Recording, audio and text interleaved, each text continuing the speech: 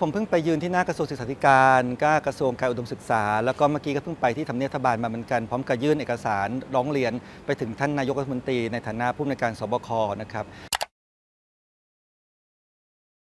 เรื่องของสถานการณ์การระบาดโรคโควิดนะครับในช่วงเวลาที่ผ่านมาไม่ว่าจะเป็นระลอกแรกหรือระลอก 2 ก็ตาม แล้วสิ่งหนึ่งที่มันน่าตกใจนะครับแต่ว่าหลาย ๆ คนไม่ได้คิดตามคือ การที่เราปิดสถานศึกษา ไม่ว่าจะเป็นโรงเรียน มหาวิทยาลัย สถาบันกวดวิชาต่าง ๆ เนี่ยเราปิดแล้วเราปิดเร็วด้วย แล้วตอนเปิดเราเปิดช้าด้วย วันนี้จะเห็นว่าแม้แต่ห้างร้านก็เปิดได้ ตลาดก็เปิดได้ ร้านเน็ตร้านเกมก็เนี้ยเปิดได้ แต่โรงเรียนสถานศึกษาไม่ให้เปิด ตรงนี้มันเป็นปัญหาครับ เพราะว่ามันกลับข้างกับสิ่งที่นานาชาติเขาทำกัน แล้วก็องค์การยูนิเซฟก็มีแถลงการออกมาชัดเจนว่าไม่ส่งเสริมเลยให้มีการปิดโรงเรียน มันมีผลกระทบต่อเยาวชนของชาติ อนาคตของชาติต่อไป จริงๆยูนิเซฟบอกว่าการศึกษาควรจะต้องเป็นตัวสุดท้ายที่ปิด ควรต้องพยายามต่อสู้เต็มที่ที่เราพยายามดูแลให้นักศึกษาให้เด็กของเราเยาวชนเราไปเรียนหนังสือได้เหมือนเดิม แต่ถ้าถึงจุดวิกฤตจริง ๆ ไม่สามารถใช้มาตรการใดแล้ว ค่อยปิดโรงเรียน แล้วเมื่อไหร่ก็ตามที่มีการผ่อนคลาย โรงเรียนสถานศึกษาต้องเป็นอย่างแรกที่เปิด ซึ่งมันกลับข้างกับที่บ้านเราเลยนะครับฉะนั้นพอสัปดาห์นี้เป็นสัปดาห์ที่สบคเริ่มมาพิจารณาอีกครั้งหนึ่งเพราะว่ามีแนวโน้มเรียกร้องกันเยอะว่าน่าจะเปิดได้บางคนคิดว่าสัปดาห์หน้าน่าจะเปิดได้เนี่ยผมก็เลยคิดว่าจำเป็นจะต้องพูดย้ำให้สังคมไทยทราบอีกทีหนึ่งว่า จริงๆเนี่ยเราจำเป็นจะต้องไม่ควรปิดโรงเรียนนะ และเปิดให้เร็ว เพราะไม่งั้นถ้าเกิดเราเชื่ออย่างนี้ต่อไปเนี่ยครับเกิดระบาดรอบหน้า รอบต่อไป ทุกคนก็คิดแต่ว่าปิดโรงเรียนปิดมหาลัยก่อน ซึ่งมันผิดนะครับการทดลองทางวิทยาศาสตร์ตอนนี้มันค่อนข้างชัดเจนว่าเด็กนะครับเยาวชนติดโรคโควิดเนี่ยยากกว่าผู้ใหญ่ ยากกว่าผู้สูงอายุ ติดโรคยากกว่า แล้วอาการรุนแรงก็น้อยกว่า อัตราการเสียชีวิตต่ำกว่ามาก จริง ๆ แล้วถึงได้บอกว่าพยายามให้เขาไปเรียนดีกว่านะครับขณะนี้เราเจอปัญหาอย่างนี้ครับ ทุกคนจะอ้างคำสั่งโยนกันไปโยนกันมาหมดเลยครับ และคำสั่งซ้ำซ้อนมากเลยนะครับ เรามีตั้งแต่ระดับสบคที่สั่งมาในภาพกว้าง เรามีคำสั่งระดับกระทรวง เช่นกระทรวงศึกษาธิการกระทรวงอุดมศึกษา เรามีคำสั่งระดับผู้ว่า ฉันจะเกิดสถานการณ์ที่บางจังหวัด ผู้ว่าคิดว่าฉันพร้อมจะเปิด แต่กระทรวงไม่ให้เปิดสบคไม่ให้เปิด บางจังหวัดก็บอกว่าฉันต้องปิดต่อไป แต่ว่าบางคนก็บอกว่าทางนี้ยังบอกว่าน่าจะเปิดได้แล้ว คือมันกลายเป็นว่าอีหลักอีเหลือกันตลอดเวลา หรือถ้าคิดว่าผมพูดแบบว่าบางทีบางคนคิดว่าแบบมักง่ายเอ่อนึกภาพว่ามหาวิทยาลัย หรือโรงเรียนบอกว่า ฉันไม่อยากรับผิดชอบ ฉันไม่อยากต้องมาสร้างระบบต่างๆจะให้เด็กเรียนออนไลน์ดีกว่า ก็อ้างคำสั่งกระทรวงได้ อ้างคำสั่งของอุดมศึกษาได้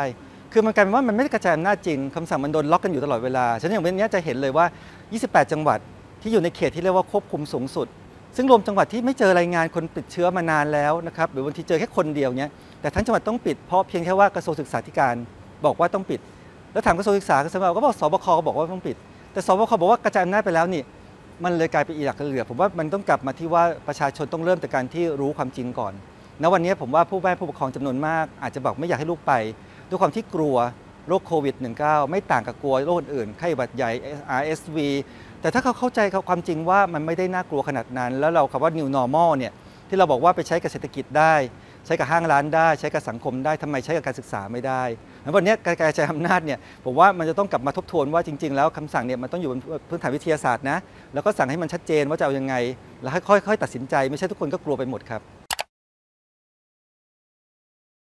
ผมว่ายังไม่เคยเคยเจอใครเลยครับ ที่บอกว่าการเรียนออนไลน์เป็นการเรียนที่ดี มีประสิทธิภาพ เหนือกว่าการเรียนในห้องเรียนนะครับเเรามีปัญหาเยอะมากเลยครับ แม้ว่าผมอยู่จุฬาก็ตามเนี่ยจุฬาไม่ใช่ว่านักศึกษามีฐานะทุกคน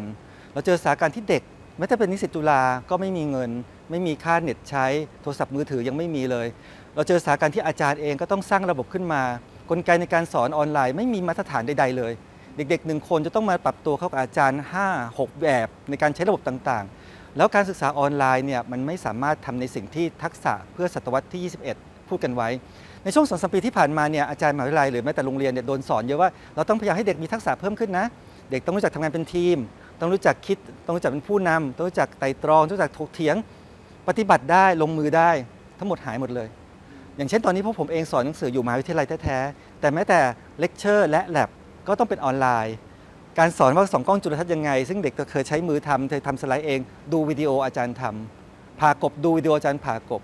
แล้วเราจะมั่นใจได้ยังไงกับศักยภาพประสิทธิภาพของบัณฑิตที่จบไป ต่อไปเรามีคุณหมอออนไลน์ วิศวะออนไลน์เภสัชแพทย์ทุกอย่างเป็นออนไลน์หมด แล้วเราจะมั่นใจกับวิชาชีพพวกนี้ได้ไงเจ้าตัวเองเขาก็ไม่ได้มั่นใจ อาจารย์ผู้สอนเองก็ไม่ได้มั่นใจ ของพวกนี้มันว่ามันต้องทบทวนนะครับในโรงเรียนเนี่ยมันมีข้อดีที่มากกว่านั้น คือการเกิดสังคม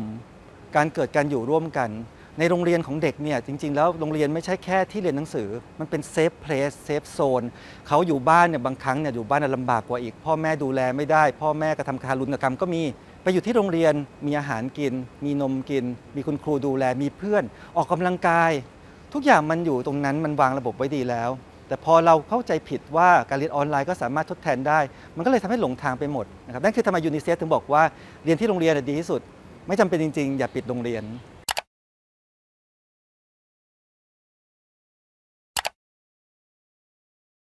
เออที่ผมเขียนค่อนข้างชัดเจนครับผมก็พูดสั้น ๆ ให้เห็นภาพชัดว่าอย่างที่หนึ่งนะ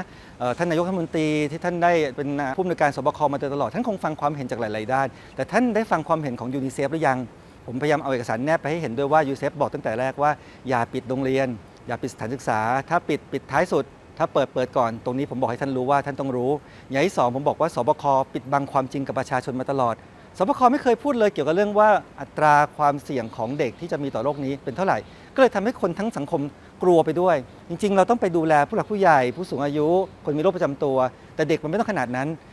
ผมนี้ผมไม่มีใครรู้เนี่ยผมไม่รู้ว่าท่านนายกรู้หรือเปล่า แต่ถ้าเกิดท่านไม่รู้ผมก็เขียนให้ท่านรู้ด้วยเราก็เลยบอกว่าขอให้ท่านเนี่ยดำเนินนโยบายสบคต่อไปเนี่ยอย่าหลงทิศหลงทาง ขอให้ดำเนินงานให้ถูกต้องเพราะไม่งั้นต่อไป ระบาดรอบสองรอบสามรอบสี่เราก็จะหลงทิศหลงทางอีกครับ